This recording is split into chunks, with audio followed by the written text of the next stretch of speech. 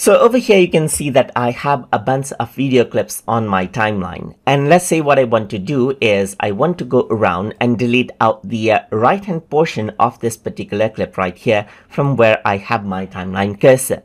In that case what you can do is you can go around and click on delete right right here. The shortcut key is, uh, key is W as you can see right there.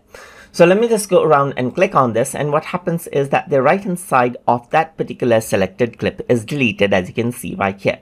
Similarly for this one, let's say I want to delete out the left portion from where my timeline cursor is. And in that case, you simply go around and click on this button right here, delete left, as you can see right here, just like that.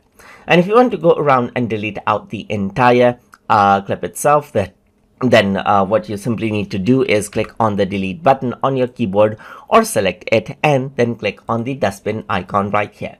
And that is how you can delete left, you can delete right and delete the entire clip inside of CapCut Desktop Editor.